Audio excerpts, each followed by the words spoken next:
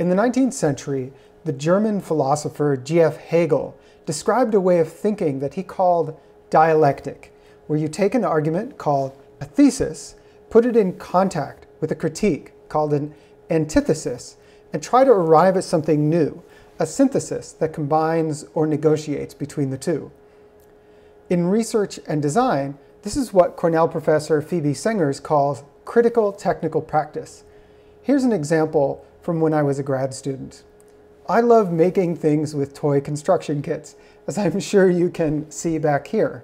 Uh, for example, I made this dragon for Dragon Day at Cornell, and you've seen the sculptures on my wall. A few years ago, the artist Golan Levin pointed out that kits like these don't actually allow you to make anything together.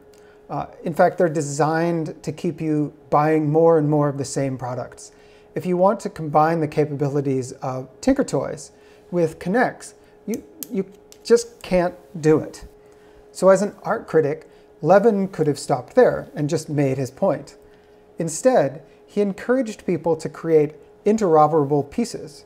And where Levin created 3D printed parts, my artist friend Eric and I used adhesive to make our own connectors, which we called the Toy Interface Construction Kit Learning Environment, or TICKLE for short.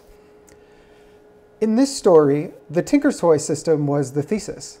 The antithesis was Levin's critique that companies have designed these systems to keep you locked in.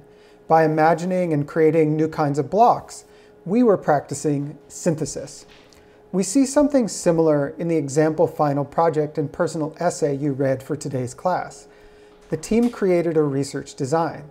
Then, one of the students, in their personal essay, summarized an important critique of the project, ending their essay with recommendations for how to resolve the problem. Thesis, antithesis, synthesis. Now, excuse me, I need to update this sculpture.